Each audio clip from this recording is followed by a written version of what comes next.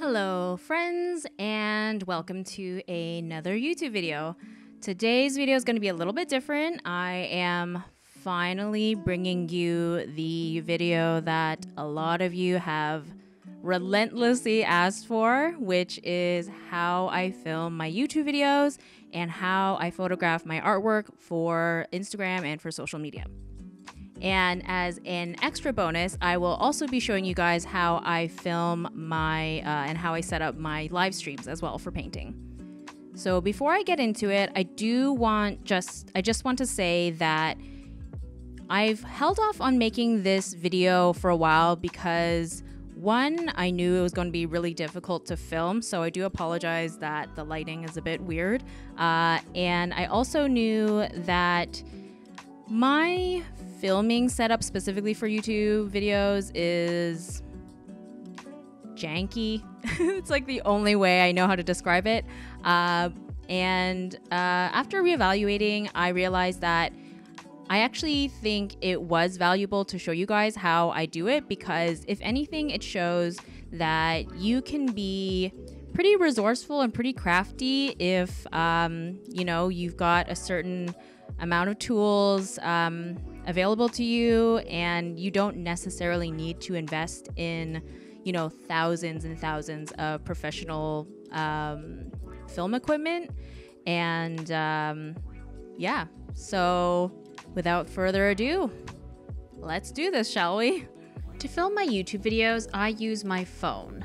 This is an old one that is going to be our placeholder since i'm actually using my phone to film this I also have this tabletop tripod that has a phone holder attachment to it.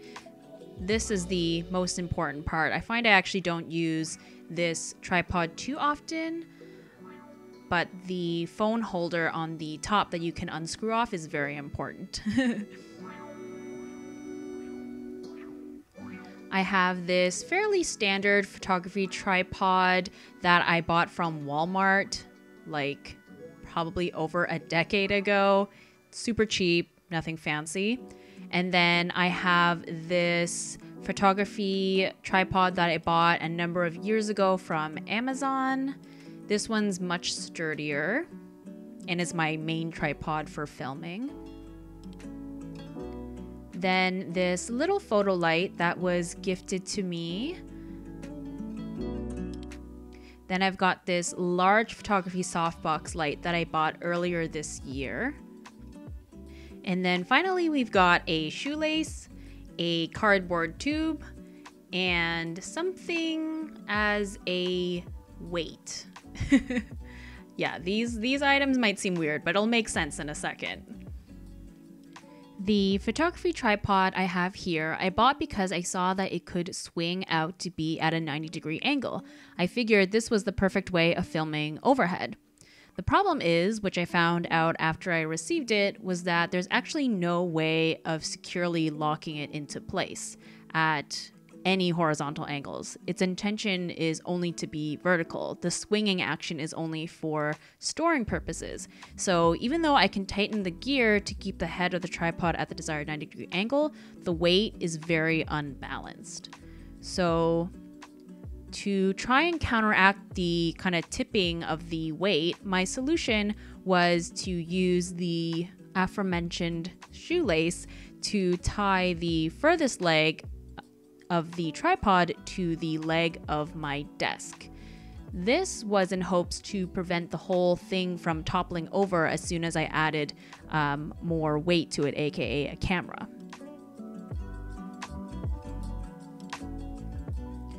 And so to attach my phone to this tripod, I removed the phone holder from the tabletop tripod that I have and I mount it onto the large one. There's just this little screw that you can just put in there.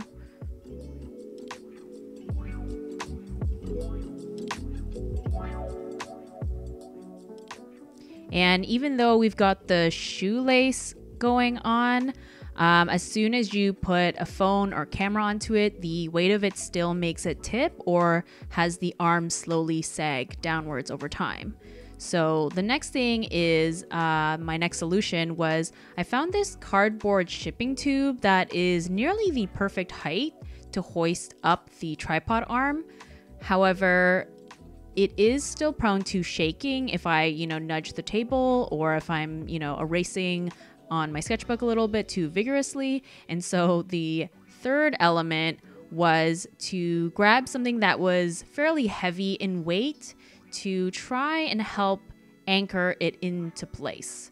Uh, it's not definitely not perfect, but it definitely helps uh, minimize the shaking.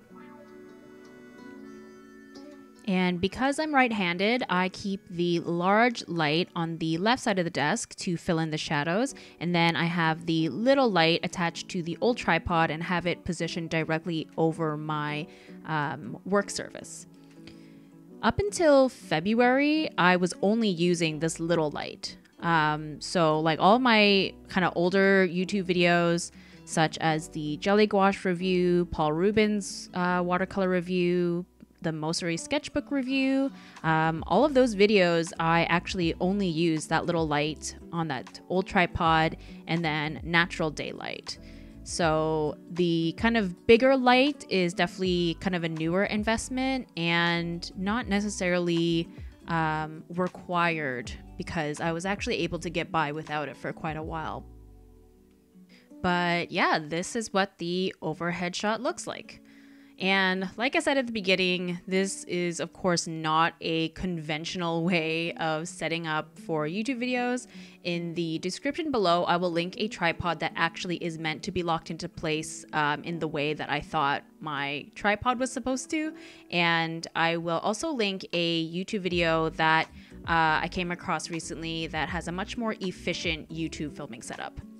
Oh, and to do my voiceovers, I use this microphone and microphone stand that I am borrowing from a friend. This mic is literally from the game Rock Band that I plug into my computer's USB port. Now, I very quickly want to show you guys how I set up my painting live streams. So the lights I position pretty much the same way, but for the tripod, I have the very fun task of dismantling my weird overhead setup and I extend the tripod legs to its longest length. With this setup, instead of having the tripod on the desk, I have it standing on the ground. Back in February, I got a standing desk, and so I have my desk cranked up to standing height and have the tripod as close to the desk as possible with the camera angled downwards over my workspace. And by camera, I mean phone. And then uh, during the stream, I will stand directly next to the tripod, and that way I can see both my workspace and my phone screen so that I can see the chat room and interact with you guys and paint at the same time. So, yes, all of those three hour painting live streams that I do on YouTube and Instagram, I am standing the entire time.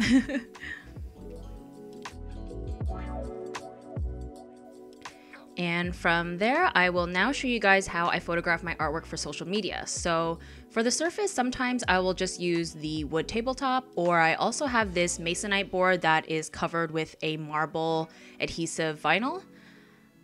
I also sometimes use this surface to film my YouTube videos if I want um, the marble instead of the wood tabletop. And the nice thing about this vinyl is that it's quite easy to clean and is just like a nice um, kind of variation.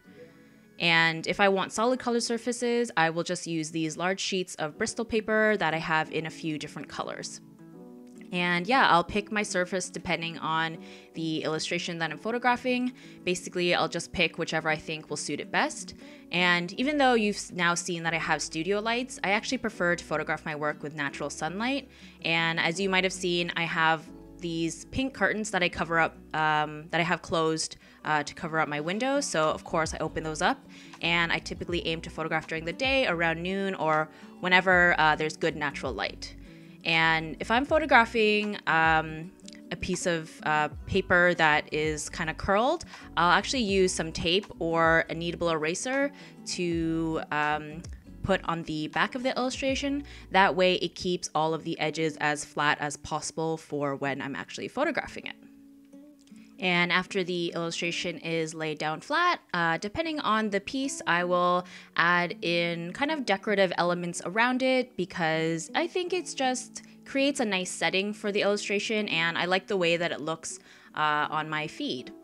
And then with my phone or my iPad, I will just kind of stand over the illustration and take a few different um, photographs of it.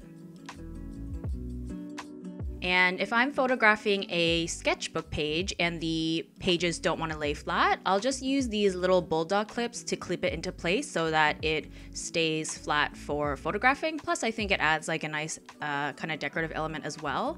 And if the sketchbook um, is you know being used with certain materials then i'll also include those into the photograph and then yeah basically i'll just throw in random props that I have laying around, whatever I think suits the piece. And yeah, it's literally just knickknacks I've collected over the years. Like my favorites are these cute little crystals that I bought at some kind of market a number of years ago.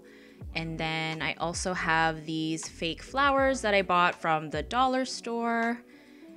And then I have these little uh, paper stars that I actually made myself from some scrap paper and a paper star punch. So yeah, I basically just use my own judgment and um, I will, you know, arrange these things into the photograph. And then I usually like to take a square shot, close up, and then a long shot for Instagram stories. Then from there, I use a photo editing app called Color Story, but any editing app will do, even the one within Instagram's app itself. And basically, I will adjust the levels, saturation, temperature, sharpness, um, basically just little, little tweaks here and there to try and get the photograph to look as close to what I see in real life and uh, and then yeah after i do all the editing i will throw on a very subtle watermark and then it's ready for posting on my shop and or on social media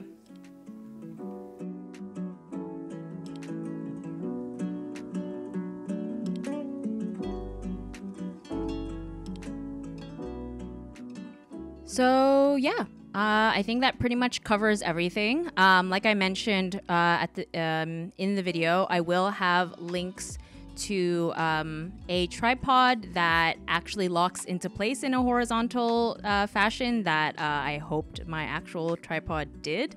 Uh, and then I will have um, a link to a really, really helpful YouTube video of how to um, set up a YouTube filming equipment thing uh, on one desk.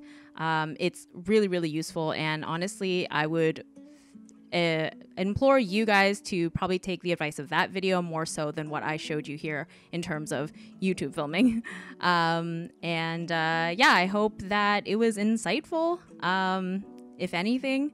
And uh, before we go, I also want to mention that we are so close to hitting my second milestone on Patreon. Thank you guys so much for your support. I for my second milestone on Patreon, for those of you who don't know, I when I hit that milestone, I'm planning to allow uh, $5 patrons and uh, higher to submit their artwork to me for potentially a kind of art critique review in a video. So basically, depending on how many submissions I get, um, I'll have you guys um, on my Patreon page submit artwork that you want me to critique. And then in a upcoming youtube video i'll spend some time kind of uh, going over what can be improved on. And um, yeah i feel like this is this is kind of my way of trying to find some moments to do some kind of mentorship because i have gotten people requesting that here and there. And unfortunately i just don't have the time and resources to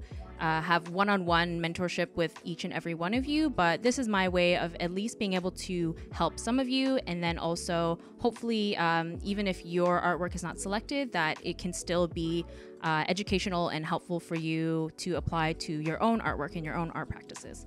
So yeah, thank you guys so much. Obviously, no pressure in uh, in terms of joining my Patreon page. Just thought I'd mention it here.